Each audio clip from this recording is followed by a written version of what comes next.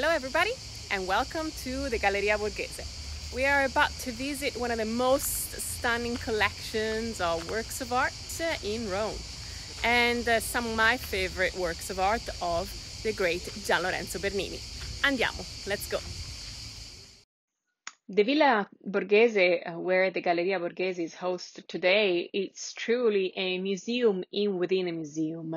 Uh, the villa was actually uh, transformed uh, in the beginning of uh, the 1600s by the nephew of uh, the Pope Paul V, which was Camillo Borghese, to be transformed into the perfect country villa for the Borghese family. The Borghese family, eh, which was actually originally from uh, Siena, uh, already owned uh, a huge area uh, of uh, land between uh, the center of Rome and the Porta Pinciana.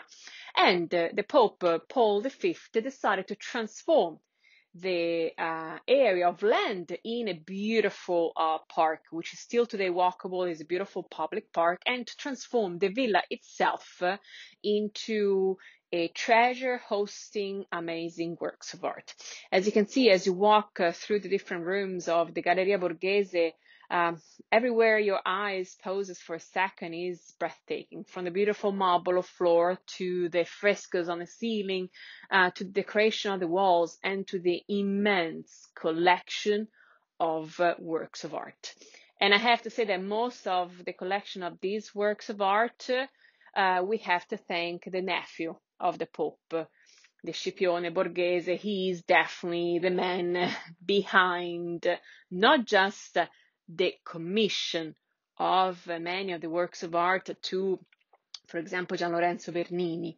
But also, I have to say that he found many different ways uh, to um, take possession of uh, amazing works of art.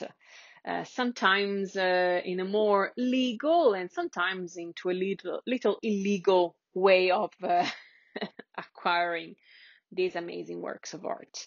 But today, the gallery it starts with beautiful original works of art of the Roman uh, through the Baroque of uh, Gian Lorenzo Bernini, with uh, also the famous statue of uh, the Paolina Bonaparte, and also an amazing collection of uh, works of art of uh, Caravaggio, Tiziano, and Raffaello.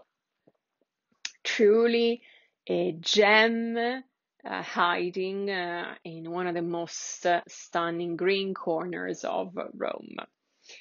Really can't wait to walk these uh, beautiful uh, rooms with you and to talk more about the amazing uh, family of the Borghese in Rome. See you soon. Ciao.